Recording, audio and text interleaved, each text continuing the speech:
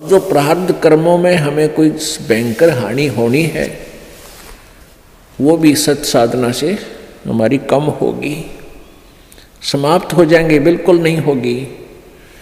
और छोटी मोटी हो भीगी तो वो हमारी भक्ति की कमज़ोरी से ही होगी, यानी भक्ति कम कर पा, पाओगे या विश्वास कम होगा या कोई मर्यादा भंग हो जाएगी तो उसके लिए सावधानी बहुत ज़रूरी है। जैसे माता गर्भ को राखे यतन बना और ठेस लगे तो छन हो तेरी ऐसे भक्ति जा। तो इस प्रकार हमने अपनी भक्ति को सुचारू करना है। कबीर धूम धाम में दिन गया और सोचत होगी साँझ। एक घड़ी हरि ना भजा बई जननी जन गई बांझ। अब क्या बताते हैं परमात्मा? अब पहले तो बताया कि तीन घंटे तो कम से कम भक्ति आपने करनी चाहिए। तीन घंटे में तो आपका काम बने जाएगा।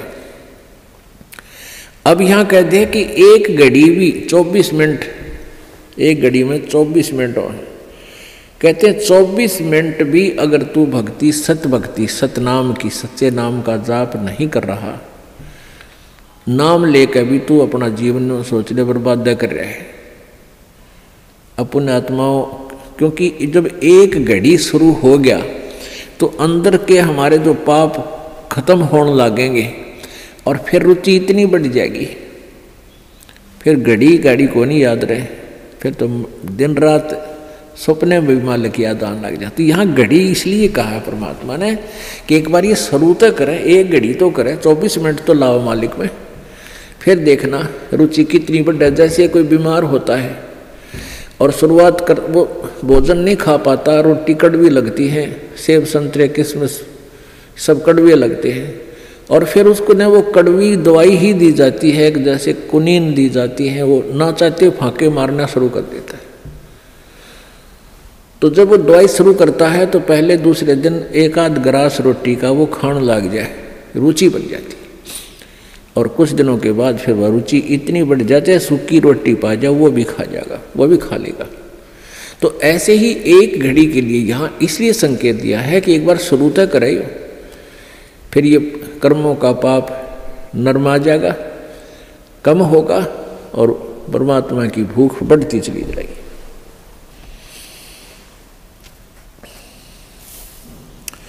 रात गवाई सोए करियो दिवस गवाया खाए।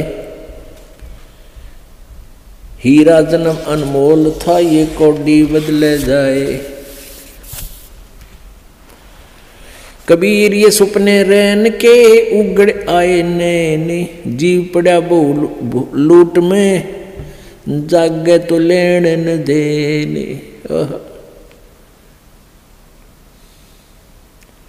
परमात्मा कहते हैं, कबीर ये सपने रैन के, ये रात जैसा सपना है आपको। आज आपके पास कार है, कोठी है, ना है तो लो छोटा मोटा कोई व्यवसाय है, कोई धंधा है, बेटा बेटी है। जैसे हम सपने में देखते हैं ना, कई बार तो या ऐसा सपना देखते हैं कि तो कार में घूम रहे हैं, ठाठ कर रहे हैं खूब मौज मार रहे हैं। और उठे तो फिर साइकिल भी कोई ना घर पे। जब आँख खुल जाती है तो देखे साइकिल भी कोई नहीं, आसपास कार के सपने आ रहे थे। तो ऐसे ही हमारे ये सौपन है। ये जो कुछ भी आप देख रहे हो सपना समझो। और कल ये नैन उगड़ गए, कल ये आँख खुल गई, यानी मृत्यु होगी।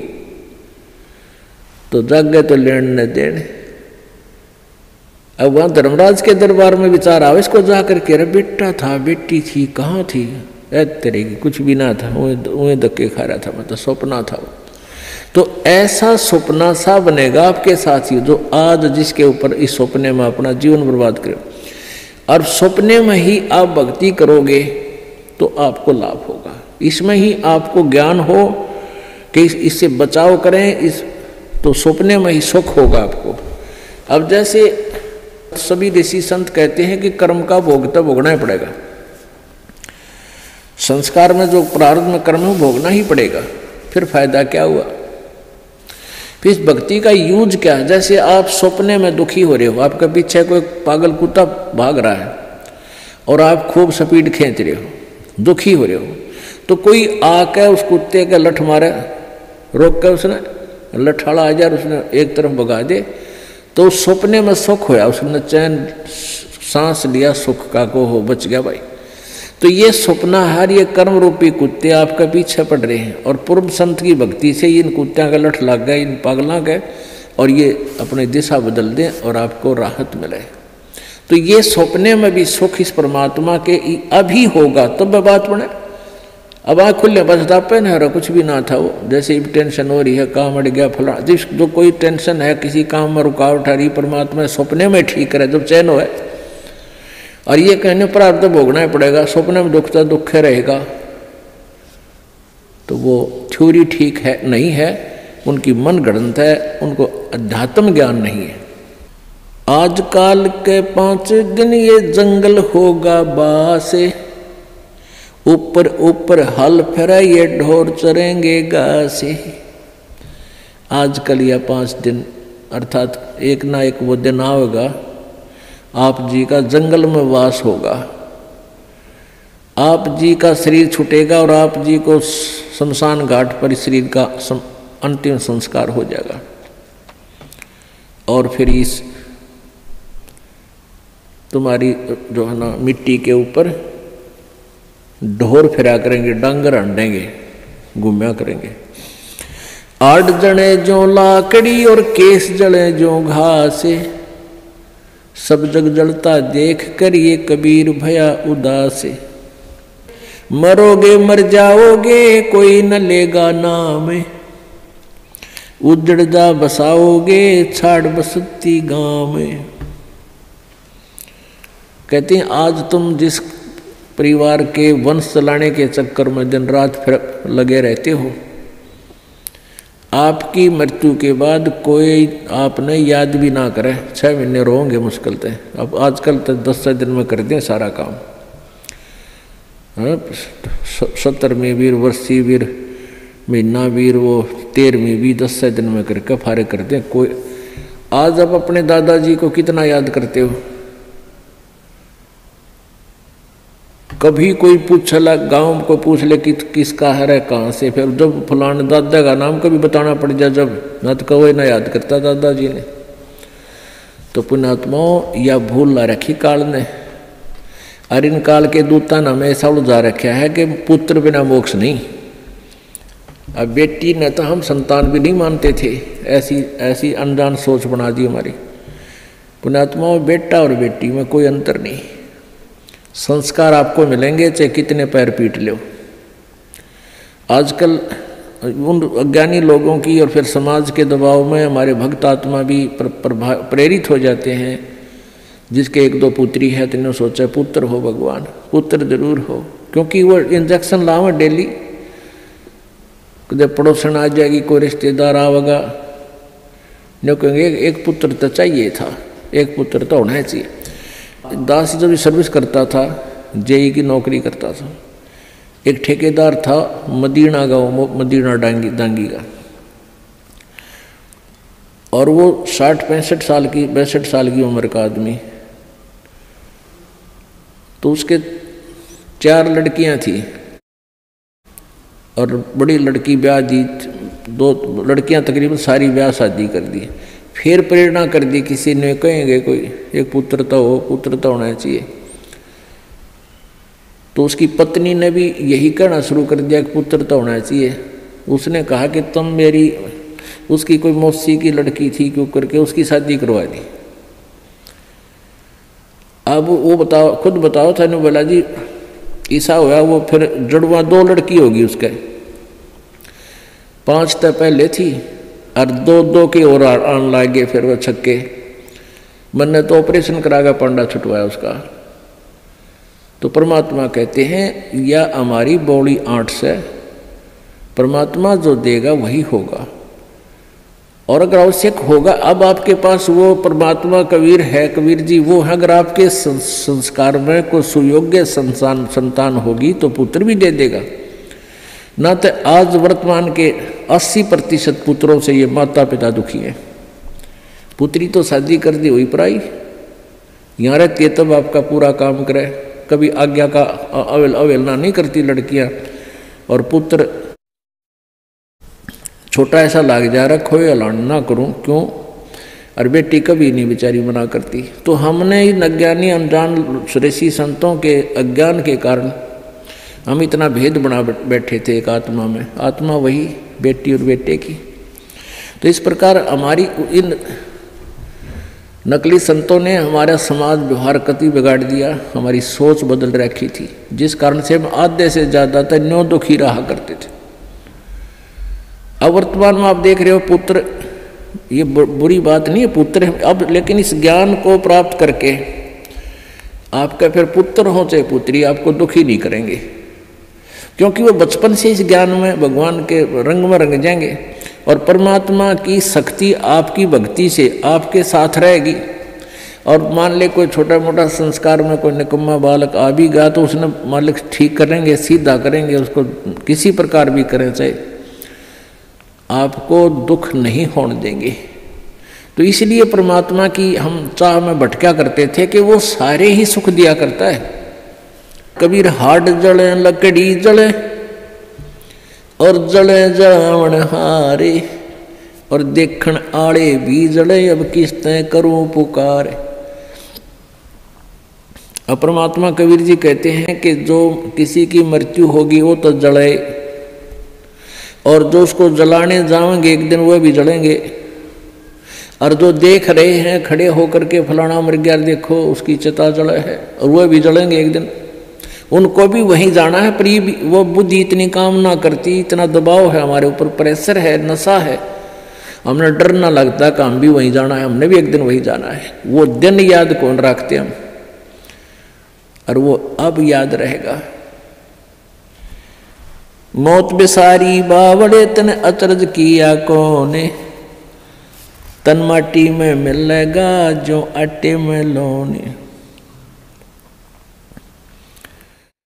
एक भगत था, एक संत था। और वो संत पतला दुबला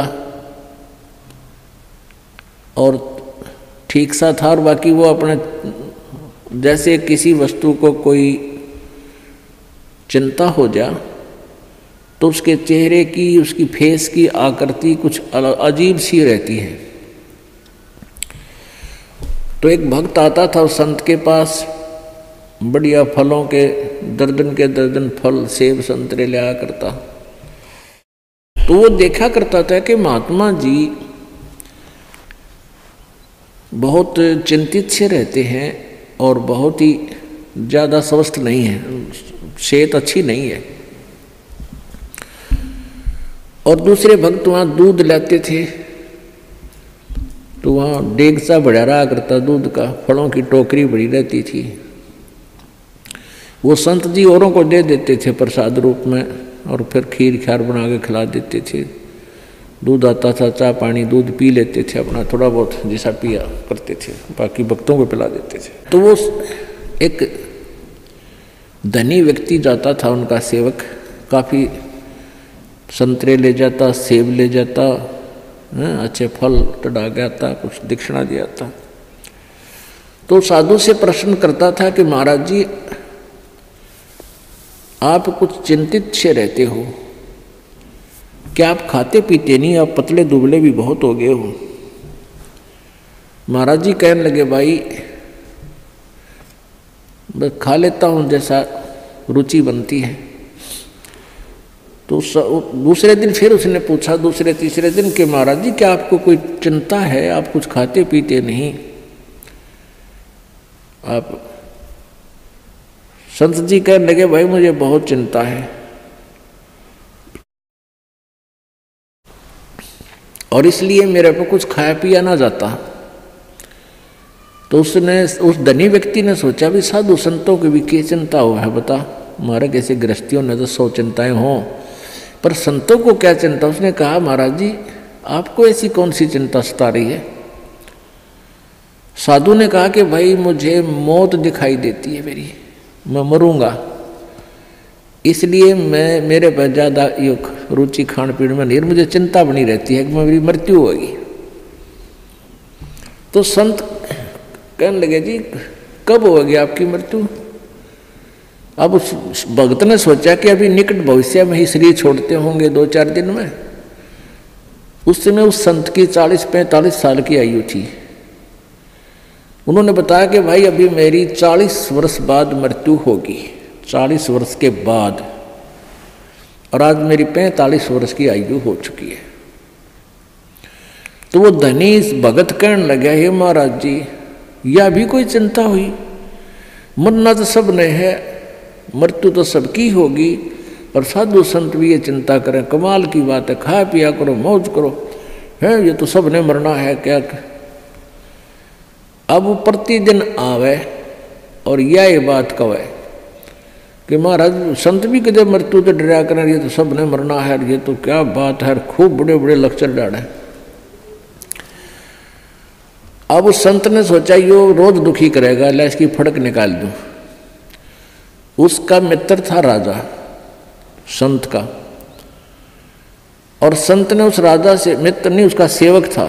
राजा से कहा कि संत ने कि वो जो धनी व्यक्ति है, एक सेठ, उसको फांसी की, सूली की सजा सुना दे फांसी की।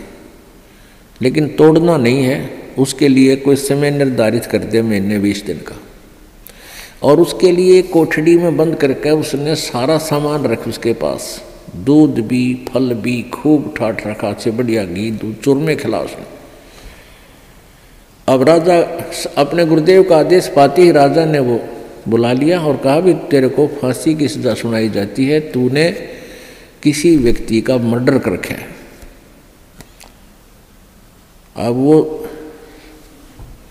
वो धनी सेठ के सोच रहा है बड़ी बुंडी बनी है तो किसी मृत्यु का कोई हत्या करी नहीं देख, फांसी की सजा होगी। दिन रख दिया, बीस पच्चीस दिन, महीना, डेढ़ महीना, जो भी अब वो दिन तारीख दर दी, पच्चीस तारीख, चौबीस, दस, तीस तारीख, वो तीस तीस तारीख रख दी महीने की, या चौदह, छठ, आठम, जैसे भी कोई रख दी।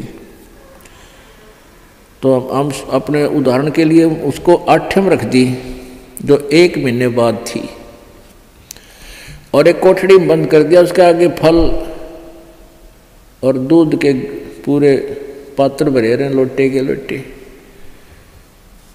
जब उस फांसी के दिन में, दस दिन पहले, बीस दिन जब उसने हो लिया उसको तो कैद में ये पक्का हो गया तेरी फांसी होगी। संत जी गए वहाँ, उनके कैद की कोठड़ी के अंदर से इसके पास से घूम निकले आगे को, उसने देखा श्रीयामा गए। गुरु जी गए, आवाज़ लगाई, महाराज जी महाराज जी, सुनियो, महाराज जी। महाराज जी वापस आए। वन्य देखे थे को होगा तड़े बोल लेगा मैंने देखते ही, कौन सेम है वो भगत? कहा, न देखा महाराज जी ने, भाई, कौन कौन है तू? अगजी में वो फलाना सेठ से? और सेठ को भी पता था उस धनी को भी पता था कि राजा इनकी पूरी मानता है गुरु जी की। और गुरु जी तक पहुँचा संदेशा जब बात पड़े तो उसने बता दी मैं वो सेठ हूँ, फलाना राम। मैं विशंबर दास हूँ। बोला अच्छा अरे तू बहुत कमज़ोर हो गया बेटा क्या बात है? बिल्कुल कमज़ोर हो गया ये फल रखे हैं दूध रखा है। तो, तो बहुत वीक हो गया रहा खाता पीता को ना। अगना महाराज जी कुछ नहीं खाया जाता। एक टूक भी नीचे नहीं जाता बस धक्के तो गेरूहेगा दी रोटी अंदर जाती है शरीर में। क्या बात होगी? अगर मेरे को फांसी की सजा सुना रखी है कति झूठा केस है मेरे पर गुरु जी मेरे दया करो, मेरी पीछा छुटवाओ। ने बोला रहा खा पी मृत्यु तो सब क्यों नहीं, बेटा? खा देख, दूध के गिलास भरे, धीरे फल रहे खा बेटा ठाटते मृत्यु सब क्यों? अरे नहीं महाराज जी कति मर गया मत है। कुछ नहीं खाया जाता। जब उसने उस राजा बुलाया, भाई, छोड़ दिया भगत ने, ये तो निर्दोष है।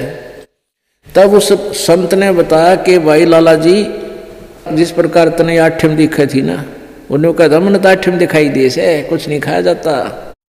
तो बेटा तने जिस प्रकार ये आठम दिखे थी, दिखे है ना? क्योंकि आपको पता लग गया, निश्चित होगी आठम न तू फांसी टूटेगा, डर बिना कहा? तो इसी प्रकार मुझे मेरी चालीस वर्ष बाद वह आठम मन दिखाई दे आज। इसलिए मेरा इस संसार में रुचि रही नहीं। जिस प्रकार आपकी ना घर में रुचि, ना क्या की रुचि, ना तू खास खाने में रुचि, तेरी एक ना कोई रुचि नहीं थी। बस मरता हुआ खाऊं था और आठम के गुण गाऊं था, उस आठम पर ध्यान लगाऊँ था। तो परमात्मा कहते, वो संत जी कहते हैं कि मैं भी भाई, मन ने अपनी आठम, वह चालीस साल पीछे आने वाली ऐसे ही नज़र आ रही जैसे आप जी को अब दिखे थी। तो पुण्यात्माओं हमारे ऊपर इतना दबाव है इन तीनों गुणों का, इस त्रिगुणमयी माया का, कि हम दस मिनट बाद भी याद नहीं रख सकते इस मौत को। और यह रखनी चाहिए, रखनी पड़ेगी। ज़्यादा से ज़्यादा साठ वर्ष, पैंसठ वर्ष, सत्तर वर्ष तक ये शरीर ठीक रह सकता, घना स्वस्थ होगा तो। उसके बाद मान लिया चाहे तीस नब्बे वर्ष भी उम्र होगी तो बस, वह तो मौत तो ही बूढ़ा जीवन है, बाकी का तो। लेकिन भगवान की भक्ति आप पहले से ही कर रहे हो तो आने वाला बुढ़ापा, बुढ़ापे में आपको बहुत सहयोग मिलेगा। हर तरह से पूरा सहायता देगा परमात्मा आपको।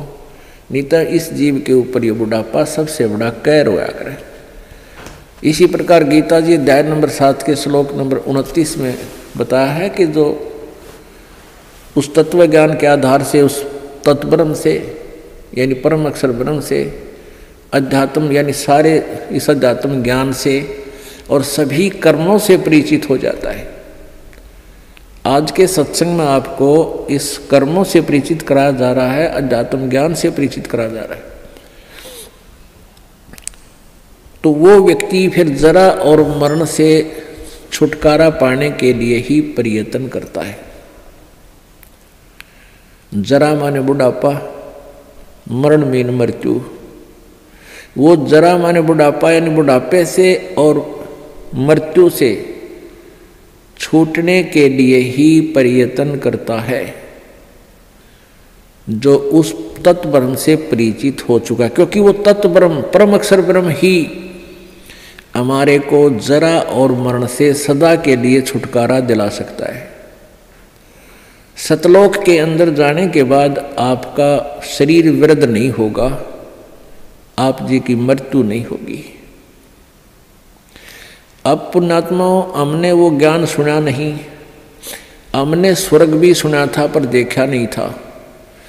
स्वर्ग सुनते थे, स्वर्ग में बड़ा सुख है, लेकिन जान की इच्छा कति नहीं थी, मृत्यु नहीं चावा थे। अब इस तत्व ज्ञान के आधार से आपको इतना विश्वास हो जाएगा कि आप जी यहाँ से जाने की रुचि बनाओगे। क्योंकि यहाँ इतने कष्ट हैं संसार में, इसको देख देख कर इनसे तंग आकर के आपका मन हट जाएगा। और इस तत्व ज्ञान के आधार से आपको ये भी पता चलेगा कि ये तो आज नहीं, इस जन्म में नहीं, असंग जन्मों में पहले भी हो लिया। और आगे भी होगा। यदि सतलोक नहीं गए